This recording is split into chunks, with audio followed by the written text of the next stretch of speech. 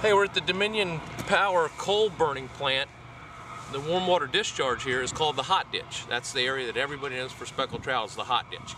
This is an off-limits site. This is the actual hot ditch. Not anybody can fish here. But the uh, VIMS and Dominion Power are having a little program here today just to enlighten some people about trout and catch and release and this winter fishery that's so magnificent and what we've got to do to try and save it because too many people are taking too many fish out of here. So we're going to go down, we're going to catch some fish, tag them, talk about the, the fish itself and, and how to catch and release them properly.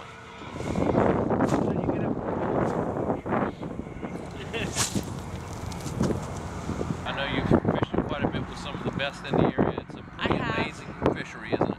It's an amazing fishery. I fished it way back when a lot of people didn't know about it too.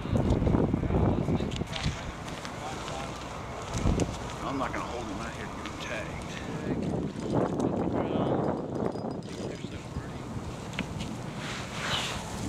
Pretty little puppy drum.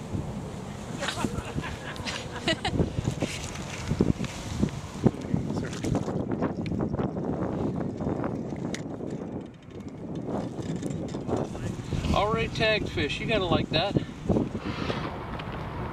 he's 20, he's 24. back in. Yeah. yeah, I think they're a little bit more hardy. Uh, there's been some fish tagged and everyone's talking about catch and release and trying to save the fishery before it gets in trouble and that's what we're here trying to do today so maybe I'll catch one before we leave and go have lunch but that's it from the hot ditch I'm Lee Tolliver for the Virginian Pilot